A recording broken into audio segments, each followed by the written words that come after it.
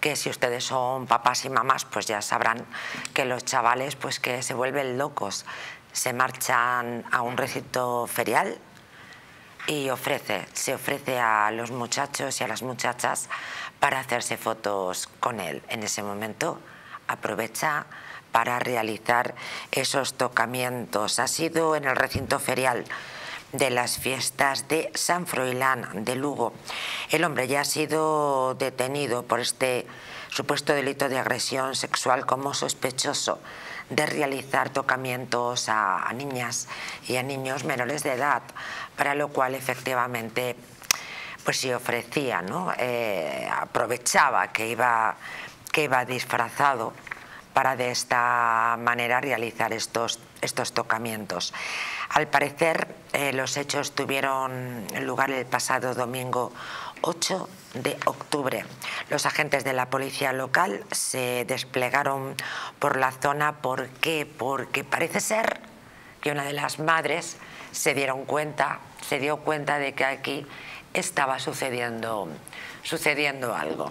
Señores, se le caiga el pelo al cerdo este. 34 años, qué tipo más miserable, qué tipo más despreciable. Bueno, es que lo... Pero fíjate, la forma de actuar nos sorprende. Todos los delitos de abuso sexual se producen precisamente basándose en una interacción ¿no? de la víctima, una superioridad, pueden ser los padres, puede ser alguien con quien tengan relación de especial confianza y claro, los niños no van a sospechar del perro de la patrulla canina. Menudo mal, mal nacido, pero actuado como actúan este tipo de delincuentes. Sí, se aprovechaba y quería hacerse una foto con los, con los niños.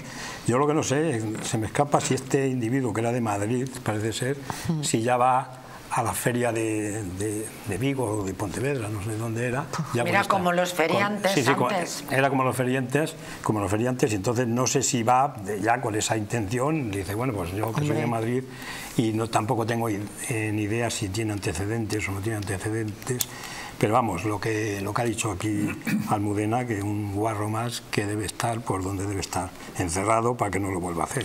Pero, con este vuelva a meter yo. Es muy gráfica. sí, efectivamente, bueno, efectivamente, está, está muy bien, en un cerdo, pero eh, metiendo un poquito esto también el tema de la ley famosa. Sí, bueno, pero este, este va a tener que cumplir y no va a haber, no, va a haber rebajada, la, pena porque, ha habido una delito ahora, claro. Ha, habido una reforma que así lo ha impedido, pero hemos gracias al Partido Popular. Bueno, eh, eh, bueno bien, la reforma. Está bien la reforma, la, prueba apoyada por el, por el PP. Sí que, sí que es cierto que todo lo anterior no, hay, no, hay, no tiene solución.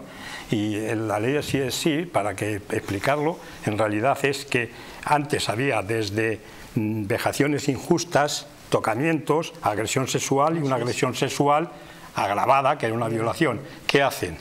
Todo esa agresión sexual y acortan, estrechan las penas y por aquí se están yendo. Y muchos pedrastras, además. Afortunadamente eh, se ha descubierto al tipo este, al pájaro este. Gracias a una madre, Mariano, que fue quien interpuso la denuncia porque efectivamente a dos de sus hijas les había realizado tocamientos.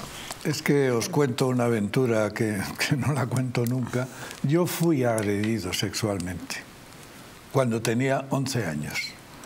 Yo me había matriculado en la institución más importante de enseñanza de idiomas que había en España, que es la, eh, Escuela de Idiomas, la Escuela, eh, la Escuela Nacional de Idiomas. Y me había, eh, me había matriculado en inglés y francés. Repito que tenía 11 años. Ahí había un bedel que se llamaba también Mariano, como yo, que era encantador que me facilitó la matrícula, me facilitó todo. Y un día que llegué tarde a la primera clase, que era la de francés, no se podía entrar en clases si llegabas tarde. Yo tuve que esperar a la segunda clase, que era de inglés. El tal Mariano me dijo si yo había visto la sala de profesores. Pues no. Pues ven que te la enseño. Me llevó a la sala de profesores y allí se abalonzó sobre mí.